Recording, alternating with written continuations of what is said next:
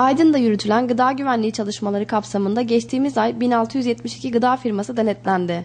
Aydın İl Gıda Tarım ve Hayvancılık Müdürlüğü'nce Şubat ayı içerisinde de gıda satış ve toplu tüketim yerleri ile üretim yerleri denetlemelerine yoğun şekilde devam edildi.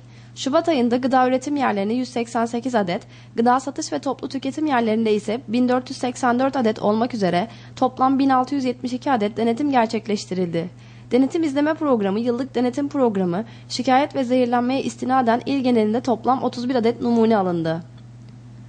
Şubat ayı içerisinde il genelinde gıda üretim, satış ve toplu tüketim yerlerinde yapılan denetimler ve alınan numuneler sonucu mevzuata uygun olmayan işletmelere 5996 sayılı veteriner hizmetleri, bitki sağlığı ve yem kanunu gereği yasal işlem uygulandı.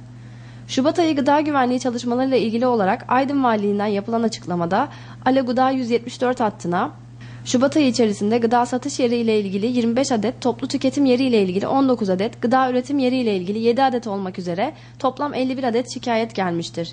Şikayetlerle ilgili olarak 46 adet işletmenin denetimi sonlandırılmış olup denetimler sonucu 2 adet gıda satış iş yerine idari para cezası kararı uygulanmıştır. Yapılan denetim ve alınan numunelere ait bilgiler Gıda Tarım ve Hayvancılık Bakanlığımızın Gıda Güvenliği Bilgi Sistemine kaydedilmektedir.